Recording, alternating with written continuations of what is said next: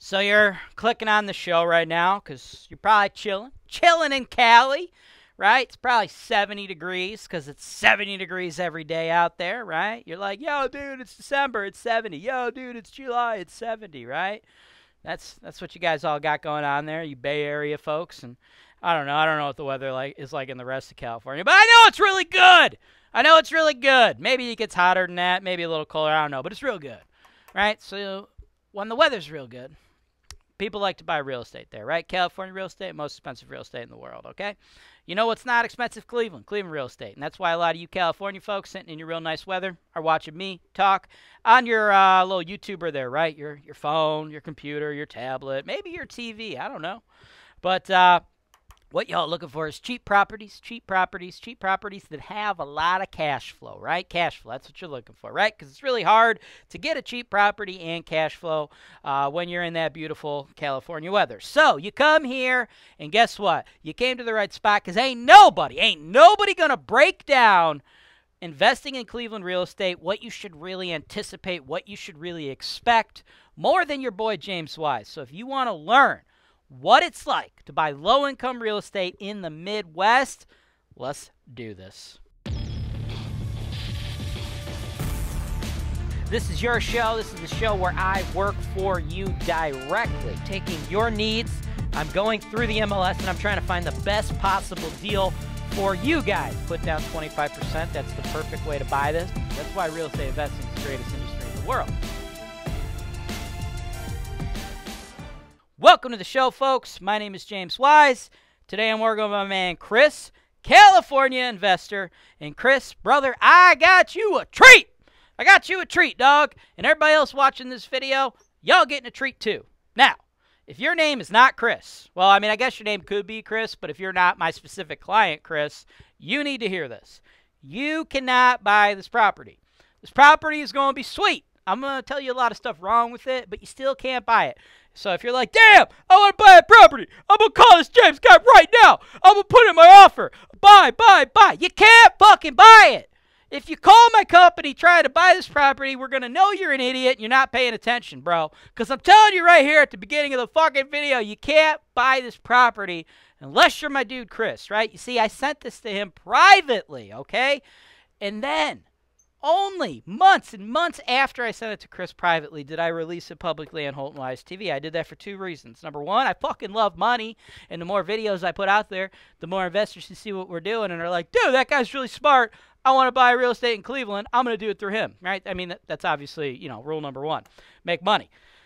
But the second reason is, of course, to educate you all, right? Because you know what? You don't have to buy through me, but I think if you watch a lot of these shows, you could really understand the Cleveland real estate market. And that's what this video is about.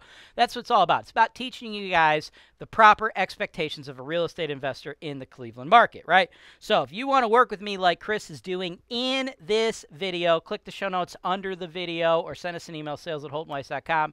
Give us your number. My team will call you, talk to you about working with me, mano a mano, getting videos like this for you, sent out privately in real time when the properties are still available, right? Because that's what Chris did. Now, Chris, brother, back to you. Dog, you're looking for that stable cash flow, and I know you like the Elyria area, little suburb on the west end of town here, the west end of the greater Cleveland area. I love this one, brother. It's a quad, quad that is priced at about the same price that a lot of the duplexes you and I have been looking at, right? Quad's not perfect, Chris. It's got some issues with it, okay?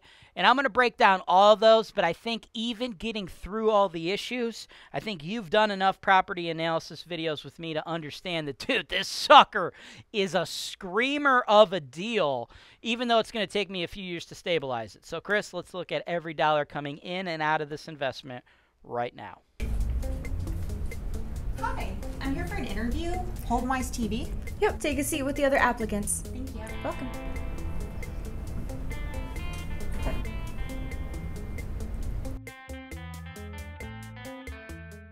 Welcome back. This is where we get into the meat, baby. This is where we figure out how the sausage is made. Now, I got to preface this by saying real estate is not always pretty, okay? This property is a stupid cheap price. Stupid, stupid cheap, okay? This is a quad in Elyria. This should probably sell for 200K, right? If it was taken care of uh, by somebody with, you know, some pride in their business, so to say, uh, this would be a $200,000 property, right? I actually love Elyria more than I love Cleveland, okay? Elyria, in my opinion, uh, the price points are much lower because uh, they're not focused on it. Nobody's like, I guess what I'm trying to say is like, you, you you Google articles and shit like this or shit like that, and people are like, "Where are the greatest real estate markets?" And Cleveland's always popping up at the top, like best cash flow market, Cleveland, Cleveland, Cleveland, Cleveland Indians, Cleveland Cavs, Cleveland Browns, Cleveland Rock Hall, da da da da da. It's all Cleveland, Cleveland, Cleveland, Cleveland. So like when we get investors, they reach out to us, and people that buy in Northeast Ohio, it's Cleveland, Cleveland, Cleveland. They forget that like Cleveland is just like a teeny little thing in the greater Northeast Ohio Cleveland metro area, right? Like Cleveland has got like I don't know, 360,000 uh, residents, okay? The greater Cleveland area, the area we service is like 3 or 4 million or something like that, right? So Cleveland's a very small portion of it, but it takes uh, all, all the national spotlight and attention, okay? And like nobody has ever heard of Elyria, right? Watching the show, right? Besides my show, have you ever heard of the city Elyria before? Probably not, right? So it's very, very close to Cleveland. It's like 30 minute drive. It's right in our area, and nobody's paying attention to Elyria. And Elyria doesn't have like this swath, this nationwide, worldwide swath of investors coming in and battling each other over the properties. So uh, oftentimes the prices are, are cheaper than they should be. Now, that said, they should not be 88,900 for a goddamn quad. Uh, but we're going to dive into to that in a second here, okay? So part of it is going to be that it's Elyria, not Cleveland itself. Uh, but the other part of it's going to be issues with this property, which we're going to be getting into. Now, one other thing that I think is important to mention, it's the quality of the neighborhood, right? Like this is very similar to what you're going to see in some of the C grade neighbors neighborhoods of Cleveland, but I actually like Elyria a little bit better because I don't think the government's up your butt as much. It's a little bit more landlord friendly than Cleveland. So I, I really actually think we get better returns in Elyria. So that said, the address 427 West Ave, Elyria, 44035 on the market for 68 days, but that's misleading, okay? It was on the market, then off the market, on, off, right? Buyers flake all the time. Now, one of the first things I ever get when I'm dealing with rookie investors, when a property comes back on the market, they freak out. They're like, "Ah, James, why did it fall out of contract with the previous buyer? It's it's red flags. I'm gonna, I'm gonna lose all my money." Ah, dude, settle down, folks. Settle down out there, okay? I sold over $200 million worth of real estate investment in the greater Cleveland area, okay? That includes Cleveland and Elyria. Now, dealing with as many investment properties as I do, I am the number one seller of them in this market. I will tell you this. Most of you motherfuckers watching my show right now are flaky ass sons of bitches, okay? If you're watching, you're sitting on your iPhone, I'd never flake on a deal. Well, good for you. That's great. We want to talk to you. But uh, the moral of the story is the majority of you flake on deals. You guys flake all the time. Uh, part of that is why re- uh, years ago I created the, uh, you know, business and purchasing structure that we have here at Holton Wise, where you fucking pay me up front to do these videos for you, man. We don't uh, work with investors to help them navigate and find properties on the open market unless they pay up front, right? Because so many of you guys flake. And we'll even see you guys flake, put up non uh, refundable earnest money, and then just like completely back out of the deal at the last minute. It, it just happens. It fl- People flake, right? It's part of the game, right? It's built into our profit model, right? So I comprehend that. I get that. I'm part for the course. I know what's going on. So when you guys see a property where it came back on the market, don't always just assume it's got something to do with the property. More often than not, some fucking flaky asshole probably just backed out, right? That, that's just the name of the game. Now, assume but verify though, right? We got to verify it, right? We're going to do independent verification on any property. We're going to do our own due diligence. So, my show right here, yeah, this is the first step of the due diligence process, but after that, we're putting it contingent on a general home inspection. You're going to get a third party home inspector. They're going to go through this thing, fine tooth comb, be there three, four hours, give you like a 90 page report, tell you everything that's wrong with the property. Outside of a major structural issue, I think there's going to be a bunch of shit wrong with the property, but you should fucking buy it. That's why it's so goddamn cheap. a structural issue would be reason not to do the deal. Like, because you couldn't fix the foundation of this home and make it cost prohibitive. You're looking at like 200 bucks a square foot. So that's what we're making sure. We're making sure we have no major structural issues. Other than that, you're going to see a lot of raggedy stuff, right? Because this is just a raggedy quad. It's got four tenants already in there, right? So the price point has been beaten down because it's Elyria, people don't pay much attention. But dude, it's just ghetto. Like the neighborhood is nice. Like this is probably the crummiest looking uh, property in the area. It's just like, you know, no driveway. You just got gravel. You got mixed match siding, fucking rugs hanging off the fucking porches. It's just like, ugh, you know what I'm saying? It, it's just like not nice, right? You can see all the peeling paint. Like the landlord just hasn't taken care of it, right? And you got four under market tenants, right? You got two three ones, okay, and they're renting at 500 and 450. Those folks should be renting at 850 a pop. And then the other two units, even though on the MLS here it's like listed as a 1-1, it's not a 1-1. It's a studio. And those are both renting at 400 currently, but those should actually be renting at 500. So what you should really get here is $2700 a month in rent. That would factor out to a little bit over 32 for the year.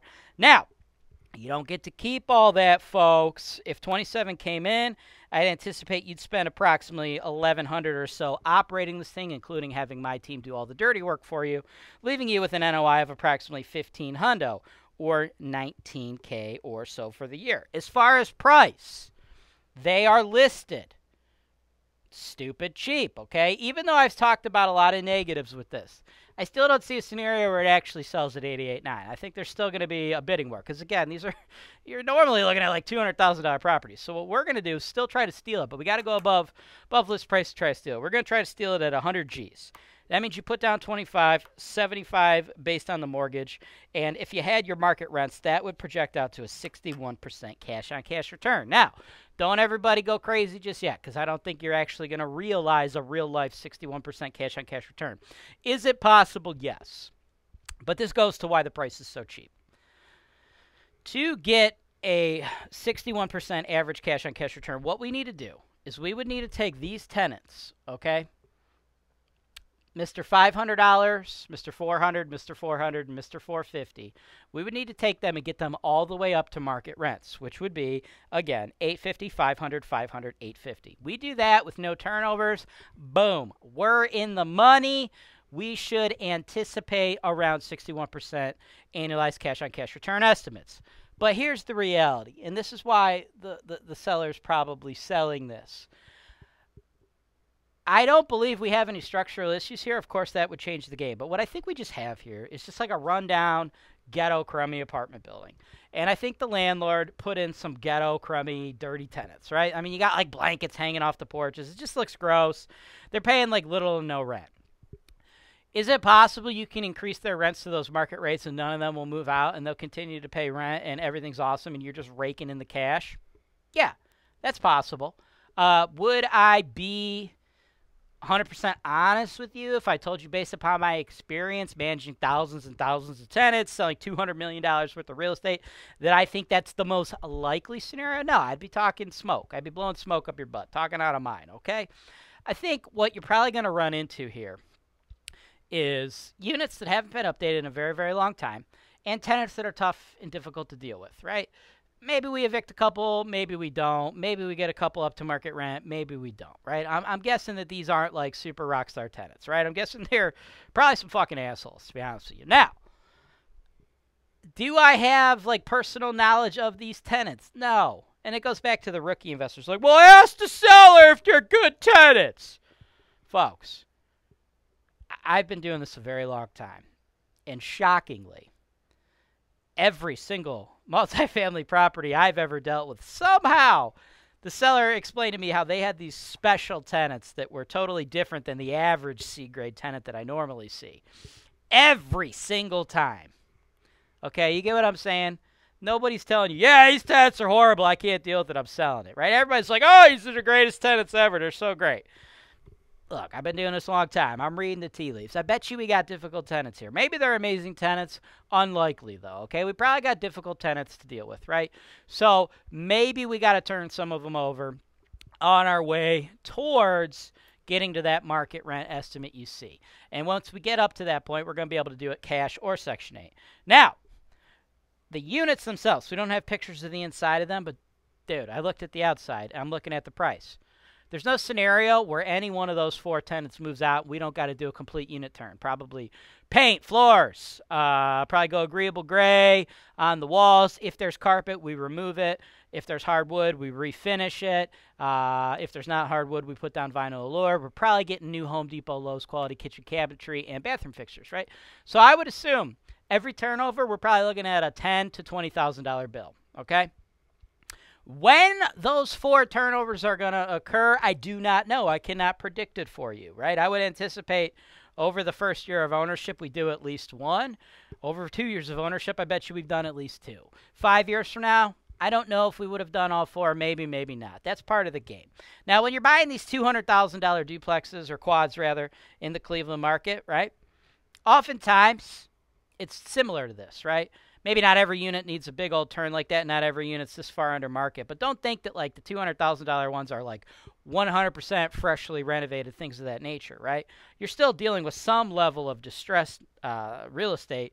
I don't know if distress is the right word, but you're dealing with some level of like older stuff and inherited tenants living in units that will need to be turned. I mean, essentially, when you're dealing with C grade stuff, guys, you're turning. Oh, you're, every time you do a turnover, you're doing uh, some type of renovation in there. Maybe not kitchens and baths, but you're probably repainting every time, right? Uh, we like to do the vinyl allure or the wood floors, so you don't have to add on that carpet cost every time. But there's always some type of rehab involved, right? So at the end of the day, uh, this property for its issues and for the fact that when you get your inspection report, I don't anticipate uh, anything being brand new in there. I anticipate you seeing some ugly looking units. I'm sure the furnaces and the hot water tanks in this building are quite old. Uh, but again, you're not really buying any quad where they're all brand new, right? Furnaces, for example, they last 30 years. They cost about three grand to replace. If I'm a real estate uh, investor, I am, but in this scenario, I'm hypothetically one, okay? And I have a furnace that works and it's 22 years old. They typically last 30 years, and I'm ready to sell my property. I'm not going to replace it. It works. You, as a buyer, should assume you got about eight years of life, uh, reasonable life left into it before you replace it, right? I mean, that's how it works. I know you get a lot of people that come here and, and they've only ever like listened to turnkey guru type stuff, and they and they think that there's going to be this like market of like fully renovated properties. That doesn't make any sense. Who would do that? Why would you throw out a furnace that's probably going to last another eight years? Just doesn't make sense, right? So, if and when we get to the point where we get the inspection report back and you see that the furnaces, your inspector, he's going to say something like, uh, furnaces past useful life expectancy, recommend HVAC person checks them out. That just means they're fucking old, and when they finally do break down, you got to replace them. Cost to do it's going to be about three G's. Same thing for the hot water tanks, except for those last about 15 years, cost about a G. The roof, it's probably a good $10,000 roof. Those are supposed to last 30 years. Want to see where we're at with life expectancy on that, but I would imagine we're at least 15, 20 years old on that as well. Right? These are all things to be expected. That's why you get to pick the property up for about $100,000, right? So just as long as we are all on the same page of what exactly we're getting, the thing is still going to be all friggin' cash cow, and eventually you're going to get it up to 2700 a month, right? When I invest in real estate, the number one thing I like to look at is quadrupling my money. You put down 25%, the bank kicks in 75%. It's a 30 year low interest tax deductible loan, okay? The only negative to that is you only get 10 of those loans. So if I'm only going to be able to get 10 loans, do I want to get 10 quads and bring in 40 rental income checks a month?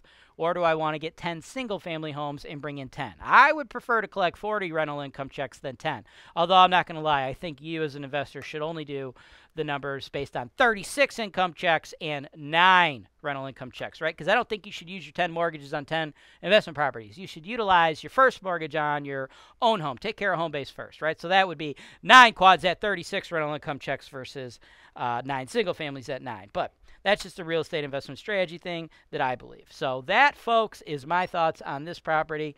I absolutely think it's a go. But if you're someone who's going to be scared or freaked out uh, by an inspection report that shows you, like, oh, th- this is not totally brand new, the same for you, right? You don't have to fix every single thing that's listed on that report. You want to fix it to meet all the local uh, local, state, and federal housing codes, but you're going to see deferred maintenance on all these properties. And just this one in particular, I imagine you're going to see a little bit more because it looks like it's been pretty it's been road rough and put away wet, if you know what I mean. But still a lot of money made. Let me know what you want to do. Thanks for watching. Subscribe to Holton Wise TV for more financial information, education, and entertainment.